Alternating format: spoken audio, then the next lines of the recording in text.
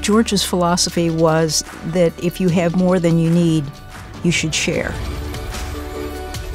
He recognized that state support of higher ed was going to be diminishing and the need for private support all the more important. In so doing, uh, he really developed the culture of philanthropy at the University of Cincinnati.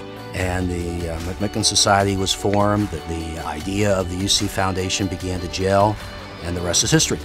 By creating the foundation, it was a lifelong program that could help sustain the university forever.